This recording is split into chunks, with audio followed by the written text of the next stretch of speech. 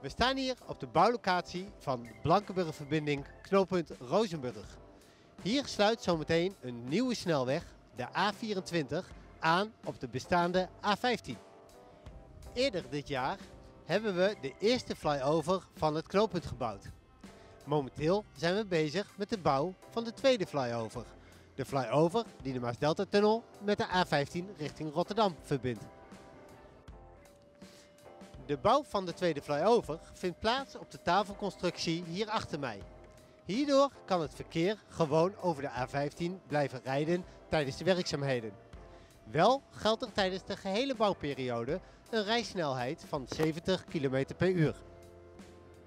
Net als bij het eerste dek is het ook bij de bouw van de tweede flyover noodzakelijk om voor een korte periode het aantal rijstroken op de A15 terug te brengen naar twee rijstroken per rijrichting. Dit geldt voor de periode van zaterdagavond 19 juni tot zondagochtend 18 juli. Tijdens deze vier weken zal ook afrit Rozenburg Centrum vanuit de richting Europoort afgesloten zijn. De wegversmalling in deze vier weken zal naar verwachting wel zorgen voor files. Onderzoek toont aan dat deze files langer zullen zijn dan tijdens de wegversmalling van afgelopen januari. Wij willen daarom alle weggebruikers verzoeken om indien mogelijk de spits tijdens deze periode te mijden.